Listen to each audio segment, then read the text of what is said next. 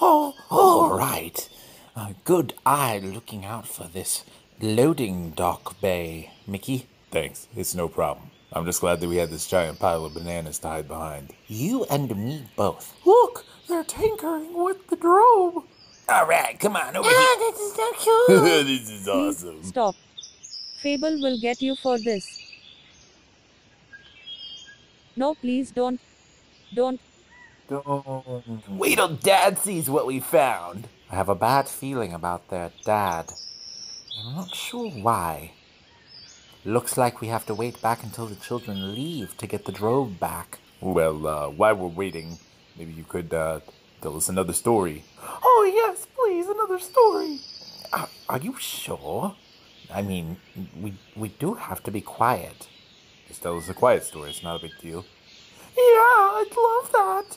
All right, but we haven't even done the theme song yet. Don't you think we should do the theme song then the story? Oh, yeah, totally. Hit it.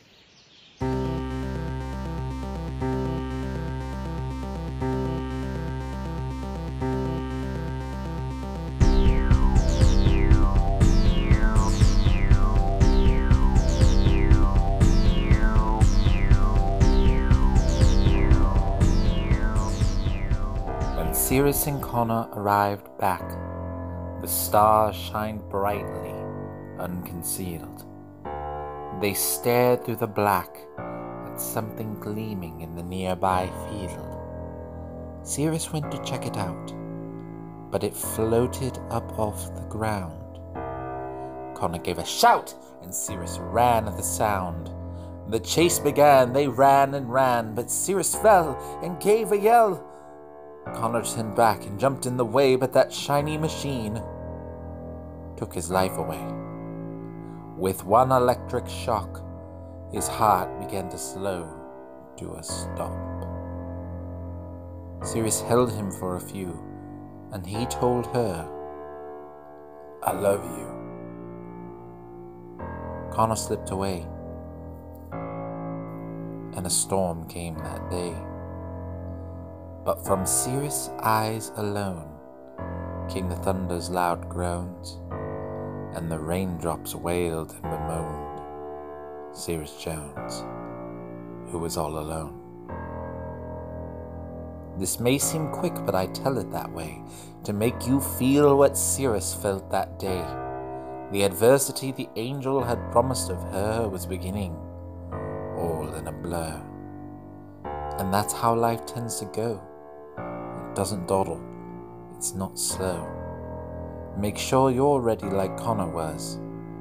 It's the end of this poem, and now we pause. That's so sad. Yeah, kinda, kinda got me a little teary-eyed there too. Chris, What in the world? what are you doing down here? What is going on? Are you using the loading dock or something horrible? Uh, yeah, that totally, um, um, yeah. Um, it's okay. It's okay. Don't worry, it's gonna be totally evil, man. Don't believe it. What is it you don't hear? Well, oh my goodness. well done, kids. You've captured Fable Peregrine's robe. Yeah, we know. We thought it was pretty cool and that we could play with it. Play with it? no, no, we have much better things to do with this. What's wrong, Fable? Who is that? Who's that hairy monkey man? Are you kidding? You don't know who that is? It is my arch nemesis, Killerman Kong. Oh no. That sounds really bad.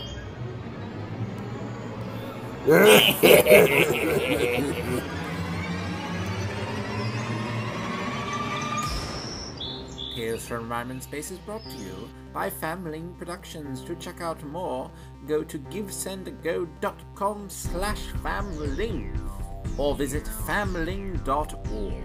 That's F-A-M-L-I-N-G dot org. There you can support and keep up with the ongoing project. Oh, Joshua, must we really have an outro like this on every episode? Alright. Thank you all so much for listening. See you in Rhyme and Speed!